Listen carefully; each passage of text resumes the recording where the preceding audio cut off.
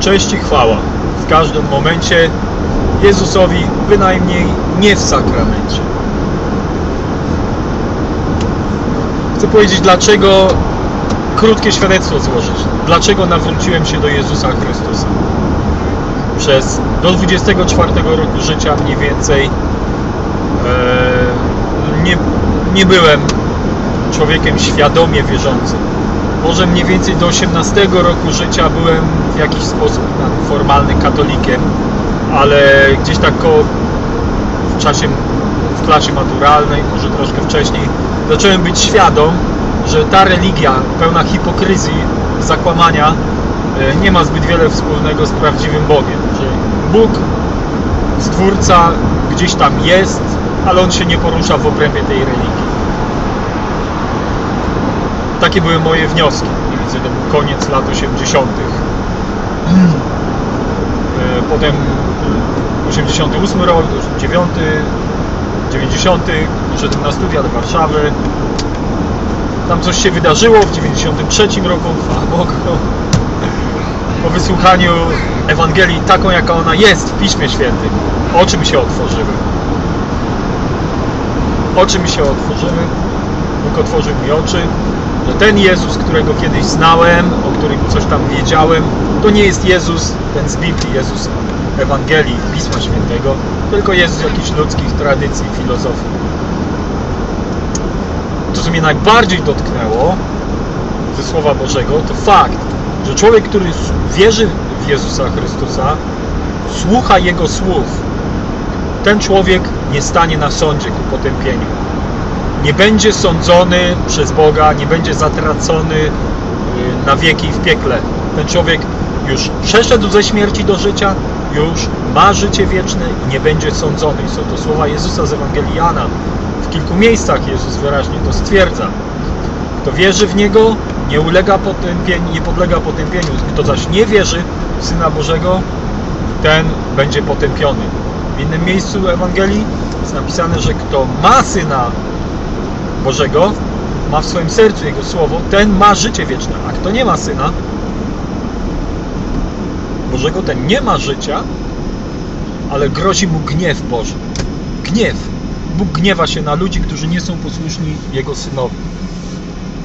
A posłuszeństwo polega na tym, że po prostu się słucha pilnie Jego nauki, Jego słowa. Tak, słonko? Nie, nie, córeczko, nagrywam się. Coś, coś chcę powiedzieć innym ludziom, wiesz, którzy mieliby posłuchać. E, I to jest istotne, żeby zrozumieć. Gdy w Ewangelii Jana, szósty rozdział, Jezus mówi, że to jest prawdziwy chleb, który z nieba przychodzi. Ciało moje jest prawdziwym pokarmem. Nie ma na myśli żadnej hostii. Nie ma na myśli żadnej hostii, gdy się uważnie czyta do końca szósty rozdział e, Ewangelii Jana, to widać, że Jezus ma na myśli swoje słowo, naukę. Ciało nic nie pomaga. Słowa, które Wam mówię, są duchem i życiem. I to jest prawdziwy pokarm, który z nieba przychodzi. Prawdziwy chleb. Mate. Some cardboard. Cardboard, Yeah. that's up in these. Cheers. Na tip przyjechałem na śmietnik. Wywieźć trochę kartonu. Taki komunalny śmietnik. No. I, I to fałszywe przekonanie, wyobrażenie, że Jezus ustanowił Eucharystię. Kompletna brednia. Jezus nie ustanowił żadnej Eucharystii. Jezus po prostu nadał e, właściwy wymiar, zrozumienie tego, czym jest Pascha. Że ta krew, która jest przelewana, krew baranka, symbolizuje Jego krew, Jego ciało, wydane za grzechy ludzi. E, To jest jakby ta sama krew, która była przelana e, ta krew w, czasie święta Paschy przelana, krew baranka, która gdy znalazła się na drzwiach domów Izraelitów, ona chroniła e, przebywających w domu przed aniołem śmierci. Podobnie krew baranka Bożego Jezusa Chrystusa, ona chroni nas przed wieczną śmiercią. Ale to krew, a nie Eucharystia.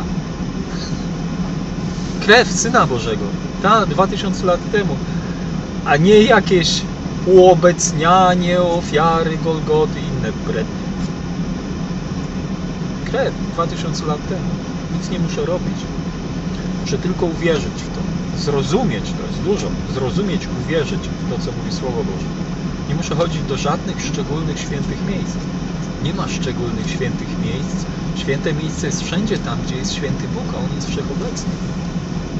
I dajcie się okłamać różnym hochsztaplerom, naciągaczom,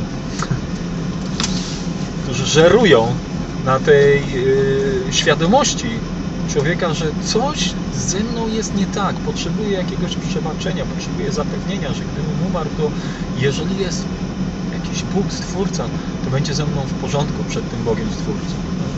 Niektórzy nie znajdując odpowiedzi na to pytanie o życie po drugiej stronie śmierci, po prostu negują w ogóle, negują wieczność, negują istnienie jakiegokolwiek Boga. Dlaczego tak robią? Ja raczej nigdy nie negowałem istnienia Boga. Po prostu nie znałem Go, nie wiedziałem, kim On jest. Ale prawdziwy Jezus Chrystus daje pewność. Daje pewność zbawienia wiecznego. I bynajmniej daje pokój. Nie tak jak ja świat, e, pokój mój zostawiam wam, pokój mój daję wam, nie jak świat daje, ja wam daję. Wiecie, fragmentarycznie pewne wypowiedzi Jezusa są używane w czasie mszy żeby zwodzić ludzi dla niepoznaki, żeby ludzie myśleli, mieli wrażenie, że mają do czynienia z czymś prawdziwym. Jezus nie mówił pokój mój zostawiam wam, pokój mój wam daję. Nie, Jezus mówił więcej. Nie jak świat daje, ja wam daję. Na świecie ucisk mieć będziecie, ale ufajcie, ja zwyciężyłem świat. To jest pełna wypowiedź.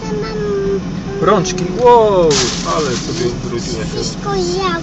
Wszystko zjałam, tak? Woda i zjadła. Zjałam wszystko. Poczekaj, kochanie. Tam chyba jest. Tutaj, proszę, tu wycieraj rączki. Misiu, trzymaj. Wycieraj, wycieraj rączki. To, co mnie pociągnęło i poruszyło bardzo w, w Ewangelii, to jest obietnica życia wiecznego. E, A to wam powiedziałem, cytuję, abyście wiedzieli, że macie życie wieczne. Kto ma syna, ma życie. Kto nie ma syna, syna Bożego, nie ujrzy życia, ale grozi mu gniew Boży. Więc jeżeli ty naprawdę nie jesteś pojednany z Bogiem przez Jego Syna Jezusa Chrystusa, nie przez religię protestancką czy katolicką i inne ludzkie pomysły na zbawienie, jeżeli nie jesteś pojednany z Bogiem przez Jego Syna i poprzez prawdziwą naukę Bożą i jej zrozumienie, tak jak to jest w Biblii, to wiesz, to, to nie masz życia wiecznego, grozi ci gniew Boży. Jeżeli w sercu nie masz pokoju z Bogiem, nie jesteś na 100% pewien, dokąd idziesz po śmierci. Dlatego, że twoje grzechy nie są wybaczone. Nawet niektóre z nich w ogóle nie są uświadomione. Bo to prawo Boże, list do Galacjan mówi, jest przewodnikiem do poznania Jezusa Chrystusa. Prawo, przykazania. Jeżeli ci hochsztaplerzy od religii usunęli pewne przykazania i, i ty nie słyszałeś nawet o nich, to ty nawet nie wiesz, że grzeszysz przeciwko Bogu. Tylko to się może objawiać w ten sposób, że możesz mieć zamieszanie w temacie i nie do końca wiesz, y, nie masz jasnych odpowiedzi na pytania, które czasem ci się nasuwają, jeżeli chodzi o Boga, o wieczność. Dlatego jest napisane w liście do Galacjan, że prawo Boże przez prawo jest poznanie grzechu, jest zrozumienie grzechu. Kiedy człowiek rozumie swój grzech, rozumie wtedy, że obraził Boga, wtedy prosi go o przebaczenie grzechu i Bóg wybacza. Ale dopóki nie poprosisz o wybaczenie, to Bóg ci nie wybaczy. Jeżeli uważasz, że nie ma problemu i nie, wszystko jest ze mną ok, to nie uzyskasz przebaczenia przed Bogiem. Dlatego prawo Boże jest błogosławieństwem, bo ono definiuje grzech. Uświadamia, czym jest grzech. Jeżeli jesteś świadomy swoich grzechów, przepraszasz Boga, prosisz o, o, o, o to, żeby Ci pomógł zmienić grzeszne nawyki. I Bóg to robi. Daje nowe serce, daje Ci nowe pragnienia i Ty wiesz, że jesteś innym człowiekiem. Z dnia na dzień przestałem kląć. Z dnia na dzień. 3 maja 93 rok. Następnego dnia w ogóle prze... nawet mi się nie cisnęło na usta żadne przekleństwo. A klołem? się mówi co drugie słowo, przerób, przekleństwa. Za czasów studenckich.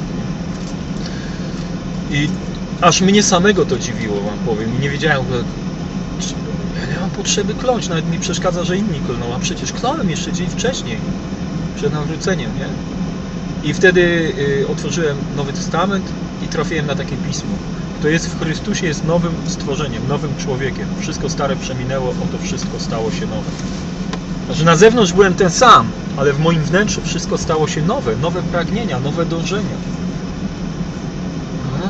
I tak już jest ponad 20 lat. Czasem spotykam starych znajomych i się pytają, a ty cały czas jeszcze w tym? Ja w czym? No, no w tym. A tak, w tej sekcie, tak. Tak. Ja cały czas w prawdzie. Coraz głębiej poznaję prawdę, zachwycam się nią i coraz bardziej prawda wpływa na mnie i przemienia moje życie. Tak, cały czas w tym. W Słowie Bożym. Aleluja.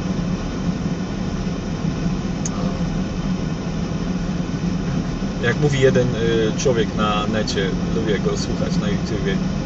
E, e, Zakary e, Bałem. Go home, read your Bible. Lubię to. Go home, read your Bible. God bless.